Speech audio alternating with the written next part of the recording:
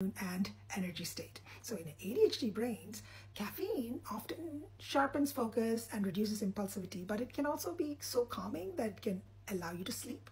So in autistic brains, it might cause jittery overdrive and a crash triggers anxiety without helping focus, or it just does nothing. And here's where mitochondrial allostatic load or MAL walks in.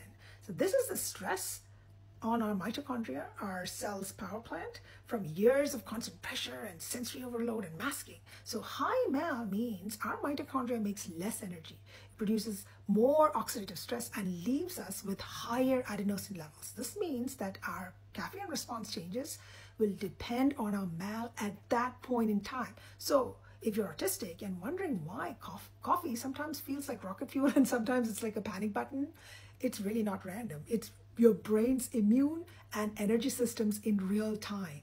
And the question now becomes, what can we do about this unpredictability? So you can either track your caffeine response alongside sleep, stress, or gut symptoms. It's complicated. And you can also use some wear wearables or sample blood biomarkers to find your best caffeine days, or you can just support your brain with microglia calming strategies like omega-3s, LDN, or help your mitochondria with CoQ10, nicotinamide riboside, NADs, or even moderate exercise.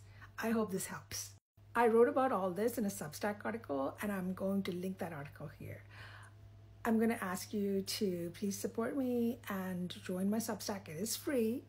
Uh, please read, improve your health literacy. It's very important for all of us.